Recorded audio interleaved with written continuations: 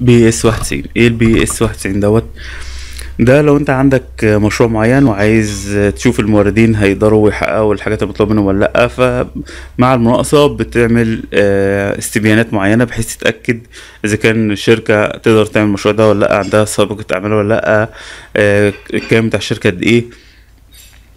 فالحكومة البريطانية عملت آه، مواصفات متاحة ان انت تحملها مجاني بي إس 91 ده استبيان موحد فيه شوية أسئلة في حاجات فيهم إجباري لازم يجاوب عليها يعتبر زي الحد الأدنى.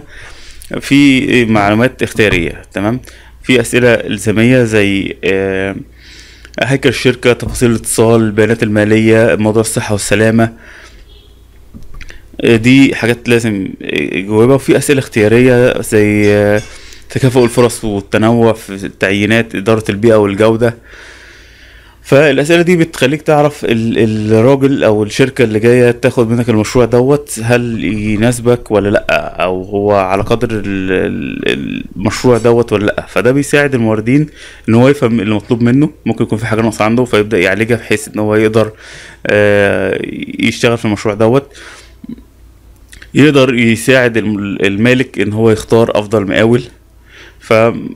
فهي المفروض إنها لل... لل...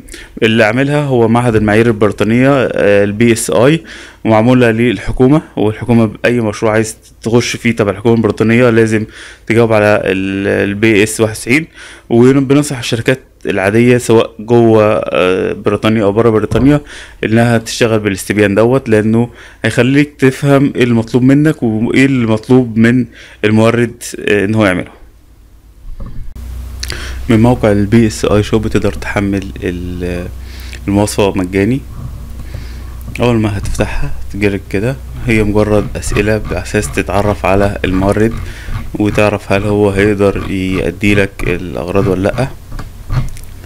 فبتلاقي مجموعة من الأسئلة المفروض إن أنت مثلا بتطبعهم وتديها له فهو يبدأ يجاوب على المعلومات يعرف نفسه ويعرف اسم الشركة ويعرف ال- والإتصال الإيميل ال- ال- الفاكس. طبعا ما ينفعش حد يتقدم ل آه، مناقصة أو لشغل بدون ما يعرف المعلومات ديت وبعد كده بنبدأ نسأل بعض الأسئلة عشان نتعرف على طبيعة الشركة والخبرة بتاعتها و آه، طريقة التعامل معاها و ال- الشغل بتاعها عامل إزاي. تمام؟ فبيديله بعض الأسئلة وهو بيجاوب yes أو no أو في بعض ال- الشرح يقدر يشرح هنا.